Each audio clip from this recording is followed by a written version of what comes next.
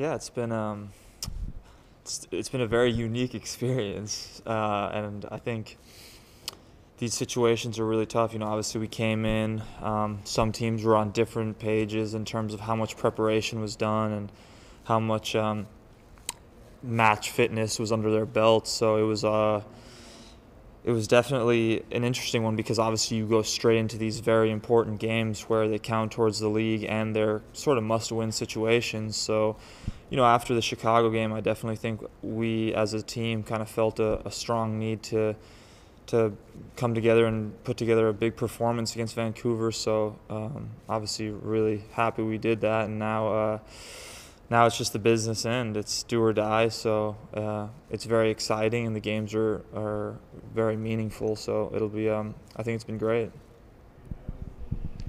We'll open it right up for questions. A reminder for media members to please click the raise hand icon at the bottom of the screen. Please click raise hand if you have a question. We'll go right into it with Ari Liljenwall. Ari, your line is now open. Hey Shane, thanks for talking today. Um, with this LAFC matchup, they're obviously known as one of the best, if not the best, attacking team in the league. Uh, what are your thoughts just going into facing them and the attack that they bring?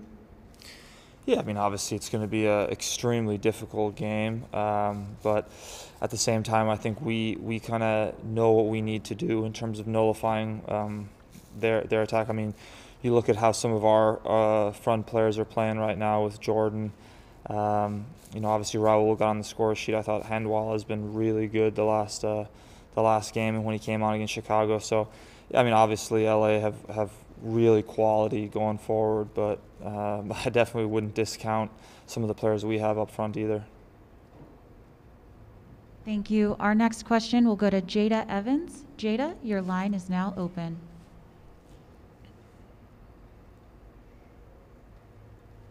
Jada, you may need to press the unmute side on your computer. If you could unmute on your end. Can you hear me now? Yep. Can you? hear- Yes? No? Yeah. Yeah. Perfect. Oh, you can. Sorry. Hi. Um, excuse me. I wanted to ask a little bit about the defense. Um, I know there was a couple slip ups with uh, with Javi, but overall, uh, you guys seem to be um, playing well uh, late, and especially Nouhou. So, wanted to um, get your opinion about that. And um, I, I know you're new with Nouhou, but still, you know, his play too. Yeah, I mean, Nouhou has been fantastic. You know, I think anyone who's watched all the games would say that he certainly has been.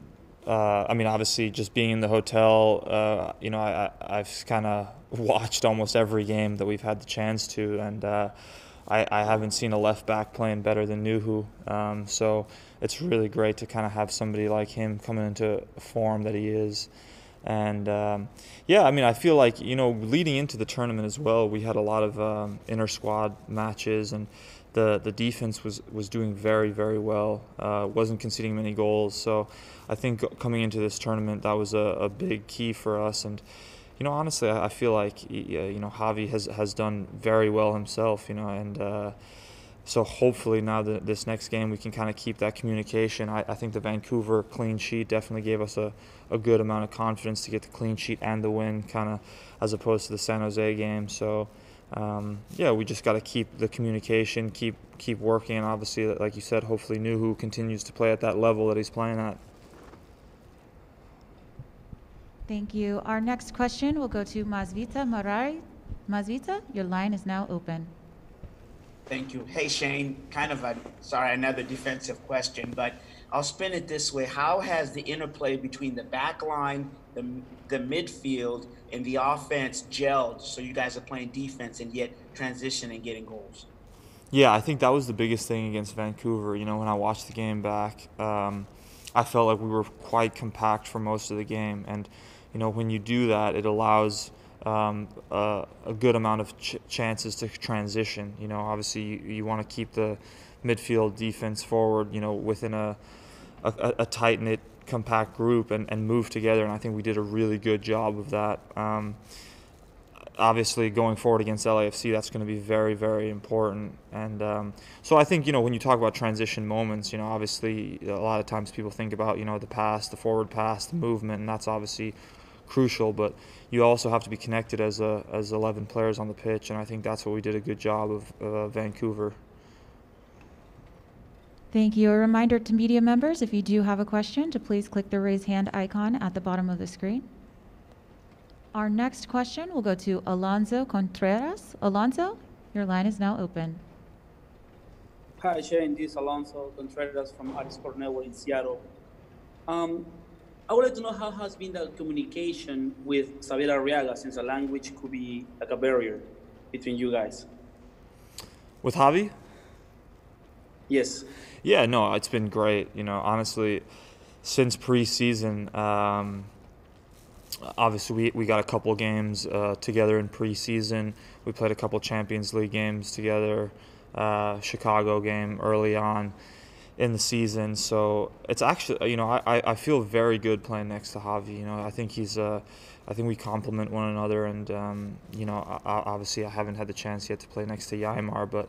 Um, uh, I, so I'm only speaking in terms of what I've experienced with Javi, and and you know it's been really good. Javi makes a huge effort to to speak English and, and learn English every single day, and I'm kind of making a similar effort in, in terms of Spanish. So I think on the field we kind of understand each other and understand our communication. So I think actually it's been a lot better than maybe.